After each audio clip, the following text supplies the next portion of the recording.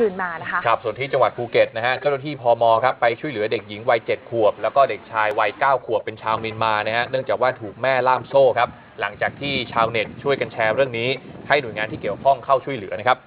เจ้าหน้าที่สำนักงานพัฒนาสังคมและความมั่นคงของมนุษย์จังหวัดภูเก็ตไปลงพื้นที่ตรวจสอบนะฮะ ห้องพักแห่งหนึ่งที่อำเภอเมืองภูเก็ตนะครับ หลังจากสังคมออนไลน์มีการแชร์ภาพ แล้วก็ขอให้ช่วยเหลือเด็กหญิงกับเด็กชาย ถูกแม่ชาวเมียนมาเนี่ยล่ามโซ่เอาไว้หน้าห้องพัก ทำให้ผู้คนที่ผ่านไปมารู้สึกสงสารนะครับ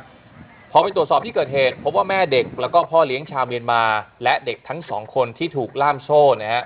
แม่เด็กเนี่ยบอกว่ามีลูก 5 คนเกิดกับสามีเก่า 4 คน แล้วก็สามีใหม่อีกหนึ่งคนนะครับ ก่อนหน้านี้ลูก 4 คนอยู่ที่ประเทศเมียนมา